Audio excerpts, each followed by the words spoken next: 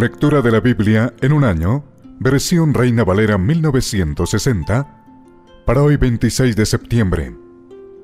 Libro de Daniel, capítulo 4. La locura de Nabucodonosor. Nabucodonosor, rey, a todos los pueblos, naciones y lenguas que moran en toda la tierra, paz o sea multiplicada. Conviene que yo declare las señales y milagros que el Dios Altísimo ha hecho conmigo Cuán grandes son sus señales y cuán potentes sus maravillas. Su reino, reino sempiterno, y su señorío de generación en generación. Yo, Nabucodonosor, estaba tranquilo en mi casa y floreciente en mi palacio.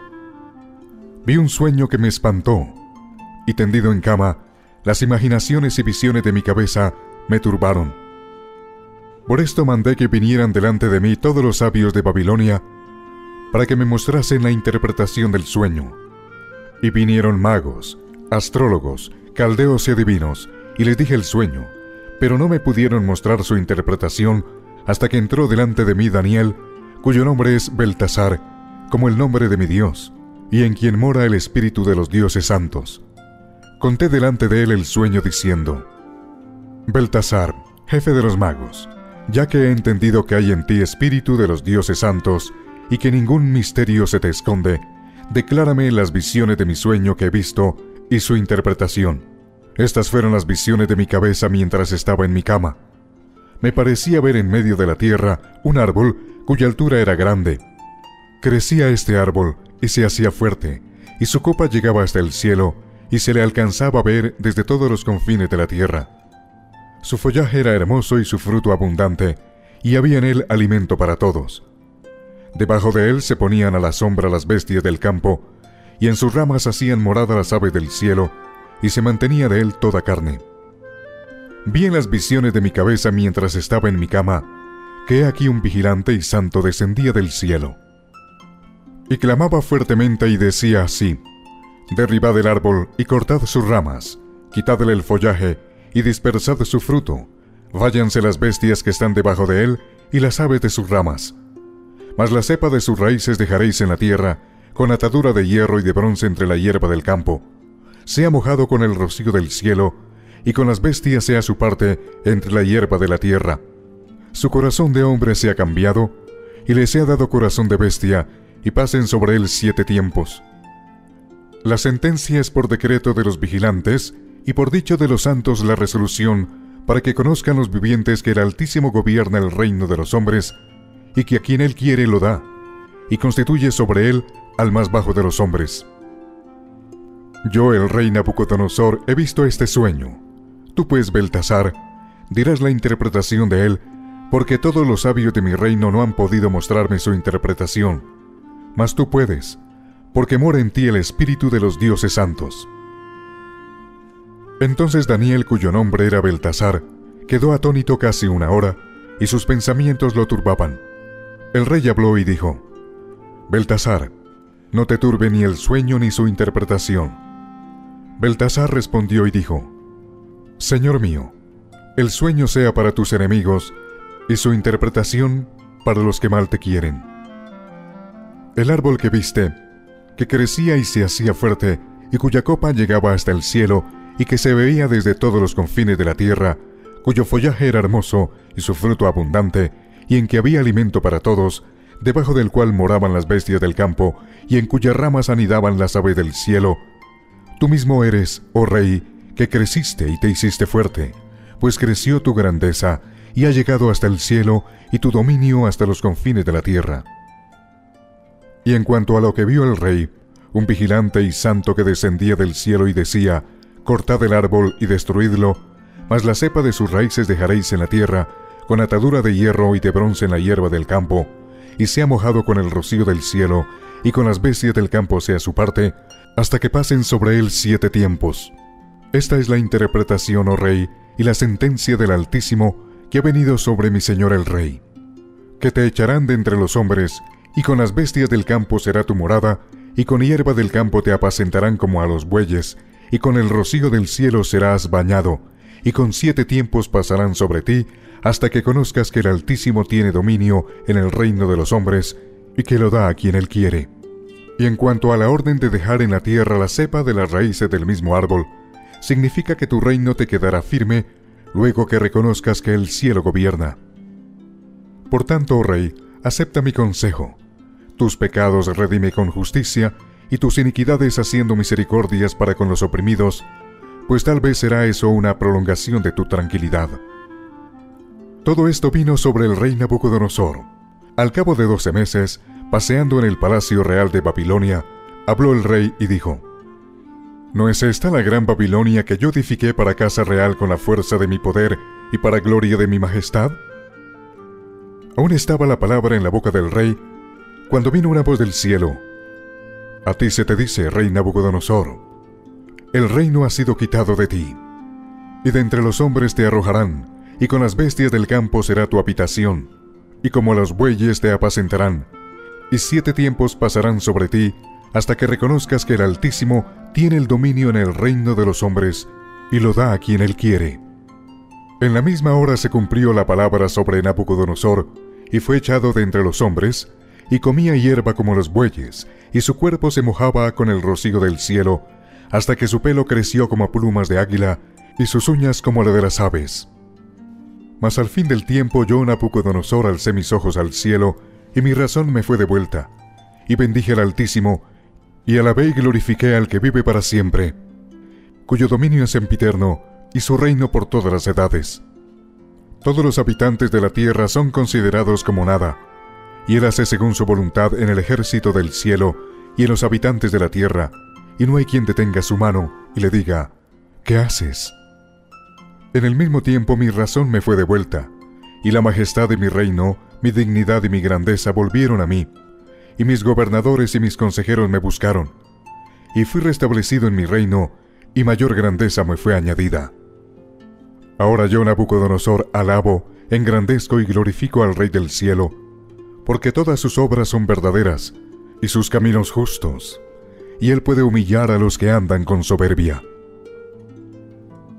Libro de Daniel, capítulo 5. La escritura en la pared. El rey Belsasar hizo un gran banquete a mil de sus príncipes, y en presencia de los mil bebía vino. Belsasar, con el gusto del vino, mandó que trajesen los vasos de oro y de plata que Nabucodonosor su padre había traído del templo de Jerusalén, para que bebiesen en ellos el rey y sus grandes, sus mujeres y sus concubinas. Entonces fueron traídos los vasos de oro que habían traído del templo de la casa de Dios que estaba en Jerusalén, y bebieron en ellos el rey y sus príncipes, sus mujeres y sus concubinas. Bebieron vino y alabaron a los dioses de oro y de plata, de bronce, de hierro, de madera y de piedra. En aquella misma hora aparecieron los dedos de una mano de hombre, que escribía delante del candelero sobre lo encalado de la pared del palacio real, y el rey veía la mano que escribía. Entonces el rey palideció, y sus pensamientos lo turbaron, y se debilitaron sus lomos, y sus rodillas daban la una contra la otra. El rey gritó en alta voz que hiciesen venir magos, caldeos y adivinos, y dijo el rey a los sabios de Babilonia, Cualquiera que lea esta escritura y me muestre su interpretación, será vestido de púrpura, y un collar de oro llevará en su cuello, y será el tercer señor en el reino. Entonces fueron introducidos todos los sabios del rey, pero no pudieron leer la escritura ni mostrar al rey su interpretación. Entonces el rey Belsasar se turbó sobremanera y palideció, y sus príncipes estaban perplejos. La reina, por las palabras del rey y de sus príncipes, entró a la sala del banquete y dijo, Rey, vive para siempre. No te turben tus pensamientos, ni palidezca tu rostro. En tu reino hay un hombre en el cual mora el espíritu de los dioses santos, y en los días de tu padre se halló en él luz e inteligencia y sabiduría, como sabiduría de los dioses, al que el rey Nabucodonosor tu padre, oh rey, constituyó jefe sobre todos los magos, astrólogos, caldeos y adivinos, por cuanto fue hallado en él mayor espíritu y ciencia y entendimiento para interpretar sueños y descifrar enigmas y resolver dudas. Esto es en Daniel, al cual el rey puso por nombre Beltasar. Llámese pues ahora a Daniel, y él te dará la interpretación. Entonces Daniel fue traído delante del rey, y dijo el rey a Daniel, ¿Eres tú aquel Daniel de los hijos de la cautividad de Judá que mi padre trajo de Judea? Yo he oído de ti que el Espíritu de los dioses santos está en ti, y que en ti se halló luz, entendimiento y mayor sabiduría. Y ahora fueron traídos delante de mí sabios y astrólogos para que leyesen esta escritura y me diesen su interpretación, pero no han podido mostrarme la interpretación del asunto. Yo pues, he oído de ti que puedes dar interpretaciones y resolver dificultades. Si ahora puedes leer esta escritura y darme su interpretación, serás vestido de púrpura y un collar de oro llevarás en tu cuello, y serás el tercer señor en el reino. Entonces Daniel respondió y dijo delante del rey, Tus dones sean para ti, y da tus recompensas a otros. Leeré la escritura al rey y le daré la interpretación. El Altísimo Dios, oh Rey, dio a Nabucodonosor tu padre el reino y la grandeza, la gloria y la majestad. Y por la grandeza que le dio, todos los pueblos, naciones y lenguas temblaban y temían delante de él. A quien quería mataba, y a quien quería daba vida. Engrandecía a quien quería, y a quien quería humillaba.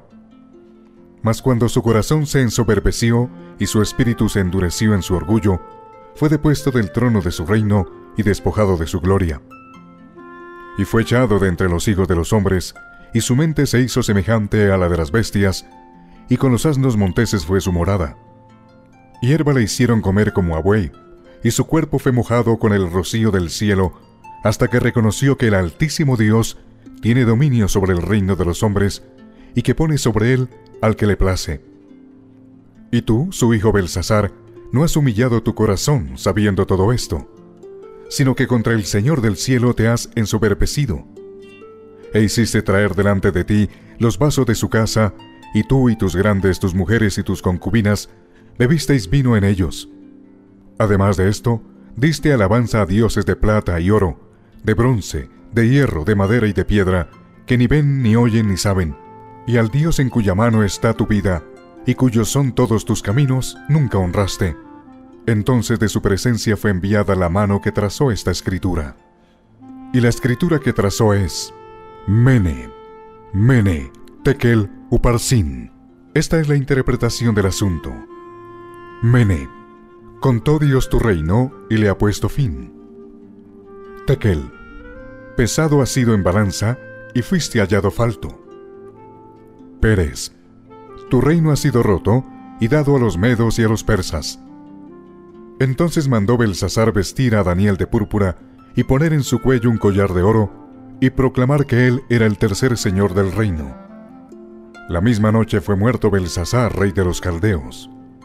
Y Darío de Media tomó el reino, siendo de 62 años.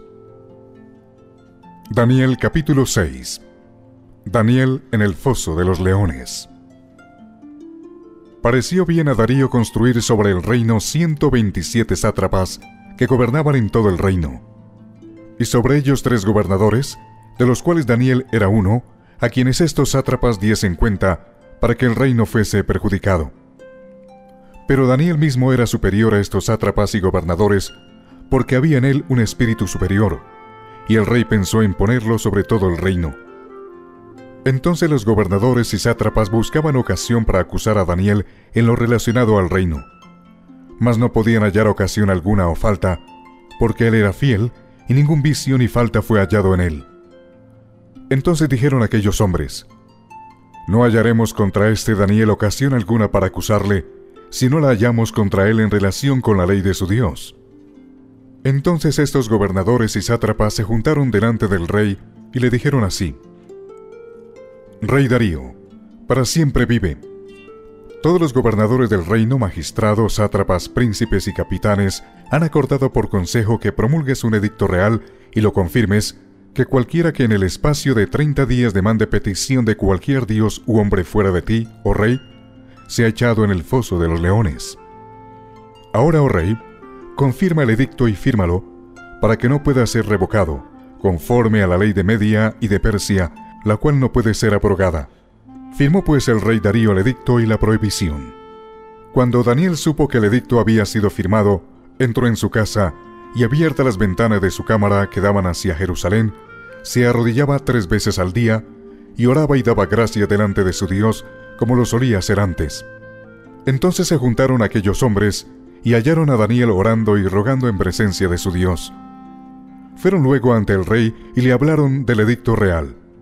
¿No has confirmado, edicto, que cualquiera que en el espacio de treinta días pida a cualquier dios u hombre fuera de ti, oh rey, sea echado en el foso de los leones? Respondió el rey diciendo, Verdad es, conforme a la ley de Media y de Persia, la cual no puede ser abrogada. Entonces respondieron y dijeron delante del rey, Daniel, que es de los hijos de los cautivos de Judá, no te respeta a ti, oh rey, ni acata el edicto que confirmaste, sino que tres veces al día hace su petición. Cuando el rey oyó el asunto, le pesó en gran manera y resolvió liberar a Daniel, y hasta la puesta del sol trabajó para liberarle. Pero aquellos hombres rodearon al rey y le dijeron, Sepas, oh rey, que es ley de Media y de Persia que ningún edicto u ordenanza que el rey confirme puede ser abrogado. Entonces el rey mandó y trajeron a Daniel y le echaron en el foso de los leones. Y el rey dijo a Daniel, El Dios tuyo, a quien tú continuamente sirves, él te libre. Y fue traída una piedra y puesta sobre la puerta del foso, la cual selló el rey con su anillo y con el anillo de sus príncipes, para que el acuerdo acerca de Daniel no se alterase. Luego el rey se fue a su palacio y se acostó ayuno. Ni instrumentos de música fueron traídos delante de él, y se le fue el sueño. El rey, pues, se levantó muy de mañana y fue apresuradamente al foso de los leones. Y acercándose al foso llamó a voces a Daniel con voz triste, y le dijo, Daniel, siervo del Dios viviente, el Dios tuyo, a quien tú continuamente sirves, ¿te ha podido librar de los leones? Entonces Daniel respondió al rey, Oh rey, vive para siempre. Mi Dios envió su ángel, el cual cerró la boca de los leones, para que no me hiciesen daño, porque ante él fui hallado inocente, y aún delante de ti, oh rey, yo no he hecho nada malo. Entonces se alegró el rey en gran manera a causa de él, y mandó sacar a Daniel del foso. Y fue Daniel sacado del foso, y ninguna lesión se halló en él, porque había confiado en su Dios. Y dio orden el rey, y fueron traídos aquellos hombres que habían acusado a Daniel, y fueron echados en el foso de los leones ellos, sus hijos y sus mujeres, y aún no habían llegado al fondo del foso, cuando los leones se apoderaron de ellos y quebraron todos sus huesos. Entonces el rey Darío escribió a todos los pueblos, naciones y lenguas que habitan en toda la tierra. Paso sea multiplicada. De parte mía es puesta esta ordenanza. Que en todo el dominio de mi reino todos teman y tiemblen ante la presencia del Dios de Daniel. Porque Él es el Dios viviente y permanece por todos los siglos, y su reino no será jamás destruido, y su dominio perdurará hasta el fin. Él salva y libra y hace señales y maravillas en el cielo y en la tierra. Él ha librado a Daniel del poder de los leones. Y este Daniel prosperó durante el reinado de Darío y durante el reinado de Ciro el persa.